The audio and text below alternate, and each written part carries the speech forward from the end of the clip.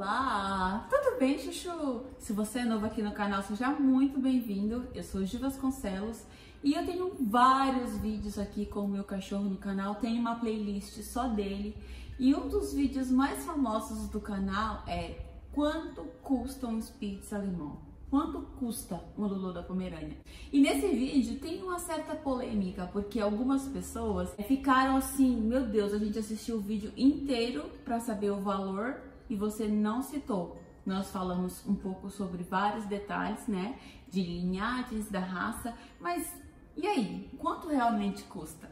Algumas pessoas até escreveram ali embaixo, ah, um, um Lulu da Pomerânia, que na verdade nem é Lulu, é Spitz alemão. Para quem não sabe, Lulu da Pomerânia é um apelido inventado pelos brasileiros, custa de 5 a 12 mil reais, de 2 a 5 mil reais de 7 a 20 mil reais. Então, o que que faz, o que que induz esse preço? Qual que é, de onde vem essa ideia de valores, né, de linhagem, que antigamente não existia?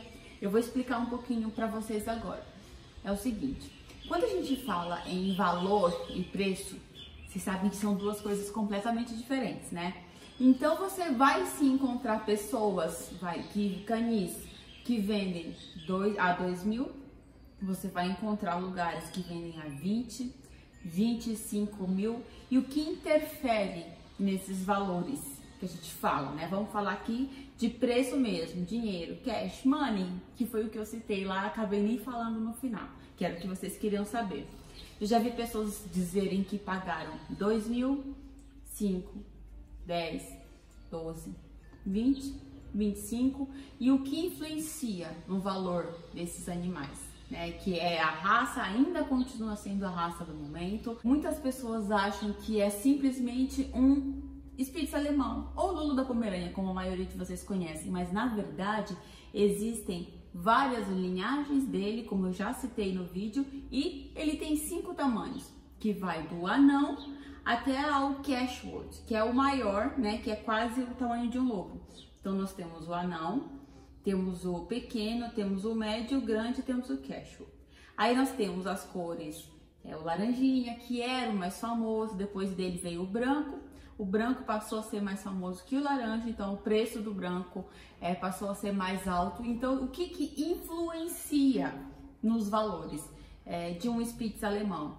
A cor do momento, a cor que todo mundo mais quer, no caso o branco, acaba sendo hoje mais caro que o laranjinha que já foi o mais caro. Depois nós temos o exótico.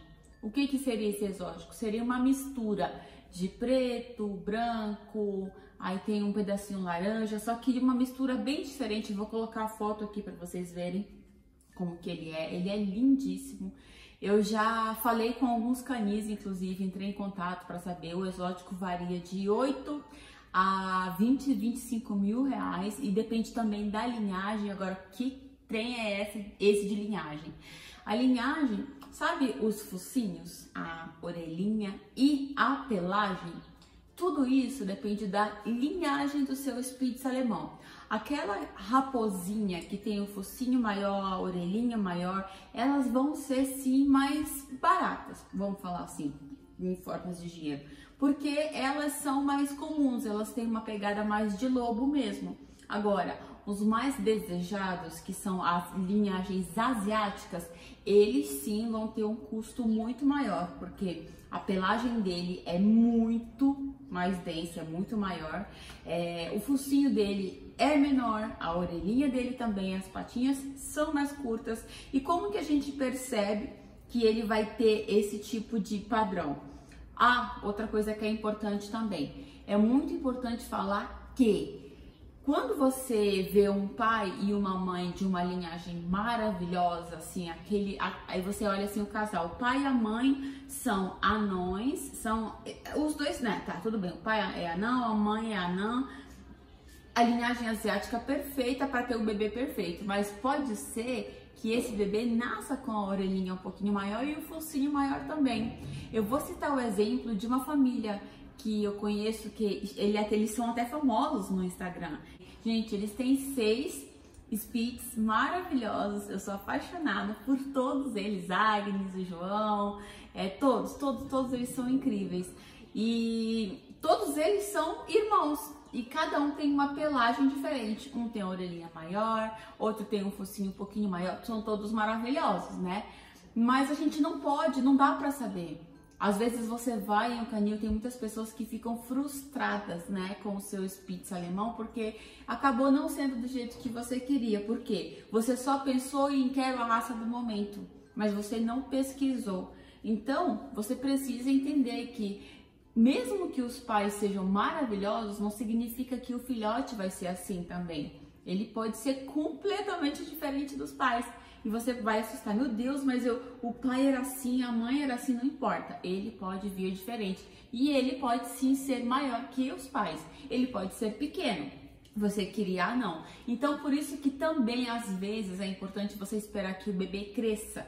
Porque algumas pessoas ficam tão ansiosas e querem logo e acabam é, se frustrando. Ou ele acaba ficando pequeno demais, ou a pelagem não era do jeito que você queria. Algumas pessoas até devolvem para mim, isso é lamentável, mas o vídeo não é para falar sobre isso. Então, para você que tem interesse em ter um Spitz alemão, o que eu posso te dizer é pesquise tudo sobre a linhagem dos pais dele e os, e os antecessores, o, o avô, o bisavô.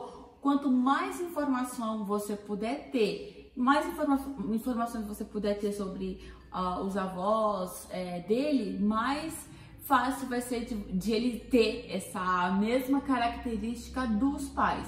Mas mesmo assim não significa que ele vai ser assim. Pode ser, ah, pode ser igual aos pais ou pode ser até melhor, tá bom?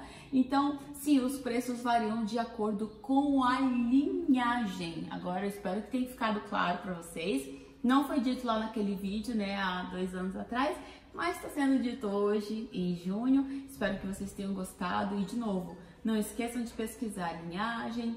Deixa o bichinho crescer um pouquinho. Ele não pode ser tirado muito cedo dos pais também, que é uma coisa que a gente pode falar aqui sobre um próximo vídeo, tá bom? Espero que vocês tenham gostado. Beijo no coração, fiquem com Deus e até o próximo vídeo. Tchau!